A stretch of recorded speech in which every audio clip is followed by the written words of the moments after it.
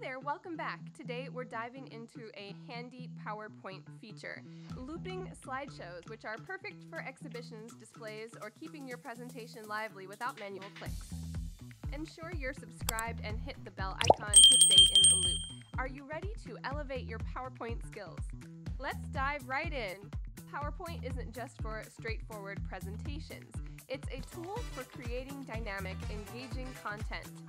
Looping your slideshow is a fantastic way to ensure your presentation runs smoothly, continuously engaging your audience. Whether for trade shows or as an informational kiosk, looping slides can make a significant impact. Why loop? Looping is essential for presentations that need to run autonomously, keeping the audience engaged even as people come and go. It's about delivering your message effectively, ensuring everyone gets the information regardless of when they tune in. Setting up your loop. First, start with the basics. Open your PowerPoint and head to the Slideshow tab. Second, Setup Show. Click Set Setup Slideshow to access looping options. Choose Presented by a Speaker if you're going for a full screen experience. The third, Loop Options enable loop continuously until ESCI to keep your presentation running until you decide to stop it.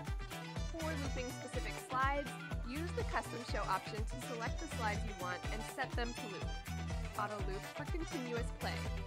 Setting up an auto loop is straightforward. Under the Slideshow tab, select Setup Slideshow and choose your loop settings. Remember, the goal is to keep your audience engaged, not overwhelmed, so use this feature wisely. Guys, um, before we wrap up, I want to share a quick note about SlideUpLift. If you're looking to elevate your presentations further, SlideUpLift offers an incredible library of PowerPoint templates and resources designed to make your slides stand out. If this guide was helpful, please like, share, and subscribe for more tips and tricks.